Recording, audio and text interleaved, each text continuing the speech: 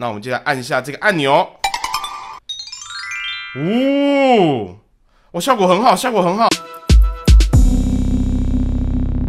大家好，我是九妹，欢迎收看今天的九妹开箱去。那今天要各位带来的呢是一个特别企划。那在讲解这个特别企划之前呢，要先来为各位介绍一个我从日本带回来的小我，那就是这个。那这是我在日本的汤吉科德里面买的。那汤吉科德你可以想象是在日本的一个加强版的小北百货，任何东西呢，它几乎都有可能在那边找到。有些东西小北百货没有卖，但是唐吉诃德有卖。例如唐吉诃德甚至有卖一些健身器材，所以总而言之呢，就是一个杂货店啊，超级强的杂货店。那这个东西呢，其实几年前就出了，只是一直没有机会买到它。那刚好看到唐吉诃德有卖，我就买了。简单讲呢，翻译成中文叫做超音波啤酒泡沫制造机，也就是说，它利用一个台子，然后这个超音波可以让上面的啤酒的这个泡沫变得很多，就好像你刚倒出来一样哦。所以你就是让泡沫变多的意思。那不只是啤酒可以用，它是任何的气泡饮料全部都可以用哦。所以我们今天就要利用这台机器来进行一个特别气化。好了，那以上呢就是我买了五种的最常见的在台湾会喝的气泡饮料。好了，不一定是最常见的，但是是我自己比较常喝的气泡饮料。那我们就来测试看看这五种饮料呢，因为理论上泡沫是有限的嘛，我们就一直一直震，一直震，把它泡沫全部都震掉。那这样子这个气泡饮料到底还好不好喝？也就是说，气泡饮料没气之后哪一种最好喝？还是说都很难喝啊？不知道，我们马上的来测试一下。好，首先呢，我们要来看一下这台机器。那这台机器就是一个平台的样子。待会呢，我们就把饮料用玻璃杯放在上面，然后按一个按钮，它就会把这个气泡震出来。那这个机器已经只是第一代，听说最近出第二代了，只是我买到的是第一代，但没有关系，我们就用第一代来做做看了。然后这个机器是需要电池的，而且非常令我讶异的是，它竟然需要六颗的三号电池哦，不知道是不是需要非常强大的能量。才能够把泡沫全部都震出来。好的，各位，六颗三号电池都装上去了，而且看到这么多颗电池装上去，真的会有武力很强大的一种错觉哦。现在我们的啤酒泡沫制造机已经开机了，你可以看到下面有一个 LED 灯在闪烁。然后这个 LED 灯呢是七彩它好像会因为不同的情况会去做一些闪烁，但应该算是一个蛮炫炮的功能啊，应该不是很重要。然后这个台子上面呢，听说要加一点点水，会让超音波的效果更好，所以我这边来给它加一点点水哦。好，这边稍微加一点点水了，我就先把。可乐打开来，然后尽量在倒的时候呢，让它的气泡少一点点，这样子的话，我们才能够知道说多少泡沫是由这个机器制造出来的。所以我尽量的斜着倒，然后让它的泡沫少一些些。好，然后把它放到台子上面去，右边是按钮，我们要按喽。一库马秀，气泡好像有变多啊，但是没有很多啊，是不是杯底接触面积太小啊？给它狂按。没关系，我就先喝一口看看。现在应该是正常的可乐，然后我们持续的制造气泡，看它有没有气变少的感觉哦。哎，我觉得气已经变少嘞，刚才按几下气已经变少了。这可乐喝起来的感觉很像是我去贵 世家的那个吃到饱的这个自助吧喝可乐，就是那种没有气的可乐。这可气已经不足嘞，所以刚刚看起来泡沫没有很多，好像是因为可乐的气泡消的很快，所以感觉泡沫没有很多。但其实它已经制造不少泡沫。这杯可乐大概气可能只剩。三四层了哎，我再制造一下，还是有制造出来。可能是因为可乐它的水分成分还是比较重，所以呢，它的气泡没办法维持很久。你看它气泡一产生，又会慢慢的消失。大概又按了大概十来下，然后呢，我们再来喝喝看哈，看有没有那种气泡又变少，然后又变得更像糖水的感觉。哇，气泡真的变少了，因为现在喝起来感觉已经不像是贵自家的以可乐了，现在喝起来很像是叫了披萨，然后他送了一罐的可乐，然后一罐可乐喝不完嘛，然后就倒了剩半罐，然后放在冰箱放一天的感觉，已经很没有气了。现在里面的气大概可能剩两层到三层了。我发现左边这个按钮好像是可以控制它灯的颜色哦，现在是红色嘛，它会红色在闪烁，然后我去给它按，它就变成紫色。红橙黄绿蓝靛紫，我不知道是什么顺序，反正它就是会有些颜色可以变换。好像已经快没气了，各位，我们先等这一波气消掉，我再按一次给你们看啊。好，这边边边这个气不太会消，但是中间基本上没有气，我再按一次，你看已经没什么气的感觉，已经快要没有气了，我再来喝喝看。我现在喝起来已经像是放一个礼拜的可乐的感觉了。那种感觉就不用我多做形容，大家应该都知道，就是糖水的感觉。它不断的强调，它不断的会提醒你说，你现在在喝糖水哦，你现在在摄取多余的卡路里。所以呢，我们就来评分，这是我们第一个没有气的饮料——可口可乐。我给它的分数，满分十分的话呢，三分啊，只给它三分。基本上，呃，除非。迫不得已或者是什么奇怪的情况，是绝对没气的可乐是不喝的哈。好了，接下来要跟介绍的是非常有名的台湾啤酒，这个也算是在啤酒界里面非常多人喜欢的一个选项。这个机器本身是呃啤酒泡沫制造机嘛，而且啤酒本身的泡沫又比可乐来的更绵密一点点，所以理论上它制造出来泡沫可以活比较久。我们来试试看，一样先把它倒在五十兰的杯子里面。好，那我们接下来就来试试看啤酒的感觉怎么样哦。这个是原本的泡沫的厚度。大概只有零点五公分，那我们就来按一下这个按钮。呜，哦，效果很好，效果很好，我们再按。啊，等下等下，我要先喝一下。先来，我看起来很棒哎，看起来超棒的。哇，这样子的啤酒看起来超好喝的啦。虽然说挂一个五十兰 logo 有点怪怪的，但是先来喝一下。哇，好棒哦。这种泡沫，然后呢粘在嘴唇上面，然后呃新鲜的啤酒从喉咙这样流下去的感觉，真的是身心舒畅啊！可惜没有什么炸物来配，也没有一些下酒菜。那这个是目前为止，因为我觉得原本的台湾啤酒在有气的情况下，我会给它八分的高分。那我们继续的产生泡沫，然后再看一下台湾啤酒没有泡沫，喝起来会是什么感觉？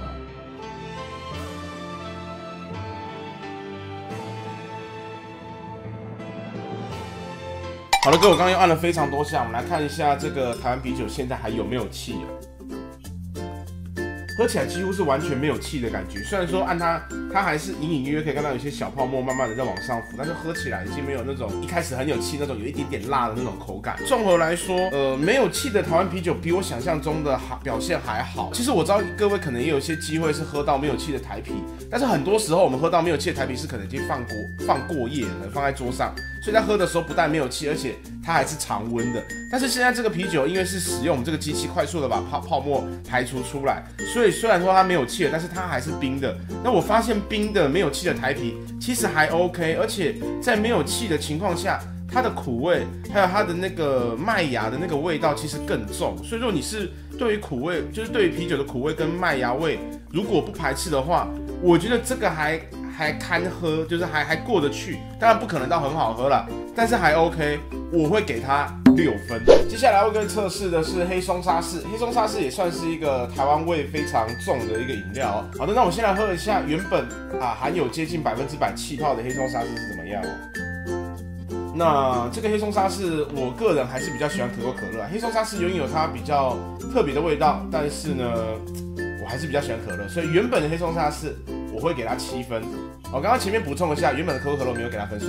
原本的可口可乐我会给它九分，因为我个人是蛮爱喝可口可乐的，但是很肥啦，我知道。好了，那我们一样的是来测一下黑松沙士哦。画面中看到是已经几乎没有气泡黑松沙士，我们来按一下这个钮。那我猜测它会跟可口可乐一样，气泡出来马上就消失了，所以大家看仔细喽。怎么完全没有气泡的感觉啊？买到这罐黑松沙士是不是过期啊？我看一下，我我没有气泡啊。二零一七年八月十六号过期，对，它是二零一六年八月出厂的，所以这罐黑松沙士已经放半年了，去年八月到现在三月。不过其实我印象中的黑松沙士本来就比可乐可口可乐没有气了。哎，我这样用咬的泡沫制造的还蛮多的，那我买这台机器的用意到底是？难怪这台机器看起来一副很像滞销的样子，摆在唐吉诃德的角落。不过我确定，我刚刚的可口可乐跟台湾啤酒是真的都没有气，是用这台机器逼到快没有气。只是这台这个黑松沙士不知道为什么用按的它出不出什么气，要我用摇的。然后用摇的也摇不出什么气哦。所以呢，理论上这一杯黑松沙士现在气应该是很少。来喝喝看。嗯，真的没有气了，真的没有气了。那黑松沙士没有气。它的甜味其实没有没有像可口可乐这么甜，我觉得啦，没有气的黑松沙士虽然喝起来不太好喝，但是感觉比没有气的可口可乐来的好喝，所以这个没有气的黑松沙士原本我给它的分数是比可口可乐低的，但是在都没有气的情况下呢，我会愿意给它四分。好了，接下来要跟介绍的是另外一款我也很喜欢喝的饮料，叫做苹果西打。那苹果西打也算是台湾人应该都也蛮熟悉的气泡饮料。那在我印象中，苹果西打的气也是蛮辣的哦。好的，我们先来喝喝看刚倒下来的苹果西打，它的那个气的感觉是怎么样？哦，的确，刚倒的苹果西打其实还蛮有气的。那苹果西打我个人也蛮爱的，所以原本的苹果西打我会给它八分。在有气的情况下，接下来我们开始的把它的气震出来吧。那苹果西打的颜色其实跟啤酒还蛮像，只是它只要是汽水，经过我们这次的证实，就是它那个气泡没办法活很久啊。所以呢，用这台机器震出来的没办法活很久。所以呢，我决定用摇的比较快。好了，各位，我摇了蛮多下，连摇带震，两种方法都试了。我们先来喝喝看这个苹果西打有没有气哦。已经已经没什么气了。呃，我觉得没有气的苹果西打也蛮好喝的，因为它本身带了一个苹果味，所以它不像是可乐，不像是沙士。可乐跟沙士没有气之后呢，比较接近糖水，但是苹果西打它没有气之后呢，是接近苹果味的糖水，所以我觉得比比可乐跟比沙士都还来的好喝。我刚刚原本给它多少？好像给它八分吧，我觉得它在没有气的情况下，应该也有六分哦，还不错。虽然说也是蛮甜的，但是我觉得我会我愿意给它六分。就是今天我口很渴，想喝饮料，然后冰箱里面的苹果西打没气了，我可能还是要考虑喝它。好了，最后要各位测试的是今天最贵的饮料，就是我们的 Red Bull 红牛。那红牛呢，是我在很多时候要熬夜啊，或者是我的工作很累，但是必须要撑下去的时候，我才要喝的。我本身没有很爱喝它，我自己也觉得它没有很好喝哦。那严格要讲的话，我觉得原本红牛的。给我的评分，我只会哎，我给他的评分大概只会给他六点五分，不会给他太高的评分，因为本身我就没有觉得它很好。我不知道是不是因为它加了一些提神的成分在，所以让它的风味让我没有很喜欢它。那么来测试一下，红牛在没有气的情况下会不会更难喝，还是说它就维持原本的这个分数？先来喝一下原本的红牛有什么感觉？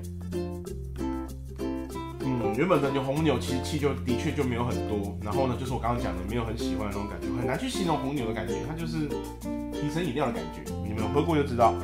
好，那我们开始震它，用震的，我猜是没有多少气啊，试试看，果然没有什么气，很虚弱。我们先一样先手工摇，然后再震哦。好的，各位连摇带震之后呢，你可以看到。红牛一个基本上也是没有没有任何气了，你看到在这个在瓶身边边也没有没没什么气泡在往上浮，很少很少。大家喝喝看哦。我怎么觉得红牛没气本身喝起来一样啊？因为红牛本身气就不多，所以喝起来真的没气的红牛跟有气的红牛好像差不多哎，几乎没有差。那相较之下就好喝了，你知道吗？因为我红牛也很少吧，会把它放到没有气，因为红牛对我来说算是功能性饮料，就是。开了它就是，而且它的它的那个分量也比较少，一旦开了红牛就会把它喝到完，所以红牛我很少会把它，印象中是没有，一定是会把它喝完的，所以这是我第一次喝到没有气的红牛，然后怎么感觉跟有气是一样的，几乎没差，只有口感上那个气泡的感觉，但是差异也不大，所以没有气的红牛依旧保持我原本给它评价六分，哇！那这这这算是我今天最让我出乎意料的一个一个评价哦，因为其实其他的其他的评价，另外一个比较让我意外的是苹果西打，苹果西打煤气也还算能喝，也会给它六分。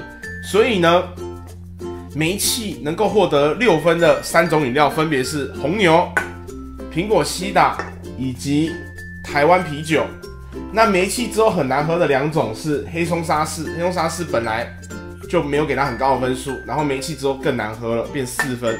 那煤气之后最难喝的是原本觉得最好喝的可口可乐。当然，这都以上全部都是我自己的主观认定啊。各位如果有呃不同的想法，也欢迎在下面留言给我，或者是如果你想看到我测试不同的呃气泡饮料在煤气之后到底喝起来怎么样的话，也欢迎在下面留言跟我们讲。如果大家反应很好的话，考虑拍续集好不好？如果你们想要看什么很冷门的饮料没有气之后会怎样，可以考虑拍续集。然后最后来分享一下我这一台，来分享一下我这一对于这一台啤酒泡沫制造机的看法。我觉得是有一点点，啊，老实说有一点点重看不重用。为什么呢？因为它整个测下来效果最好的就只有啤酒嘛，因为啤酒的泡沫是比较绵密，可以撑比较久，整个效果会很好。但是说真的，我们今天在倒啤酒的时候，我只要稍微的在角度上面瞧一下，我想要让它一开始有泡沫，一定是有泡沫的。所以这台机器可能比较适合居酒屋那种大量会倒啤酒，或者是 lunch bar 这种大量会倒啤酒的人，可能稍微可以秀一下。那其他我是觉得一般小家庭应该是买不到这个机器哦。对于这个小玩物、小玩具的评价没有到很高，蛮酷的啦，但是实用性个人觉得真的还好。你可以看到我们在中段，后来我都开始用咬的，因为用咬的效果。还比较好一点点。以上是这一次的绝面开箱去记我们的特别企划。大家如果喜欢我们特别企划的话，记得按一个赞。然后呢，想要看到更多相关的影片的话，记得订阅我。那如果真的很喜欢我的话，记得订阅旁边有个小铃铛，你给它按下去。然后我的 Facebook 第一时间也会发一些相关的影片，还有我最近在做什么动态，也欢迎来按赞我的 Facebook。我们就下次见喽，拜拜。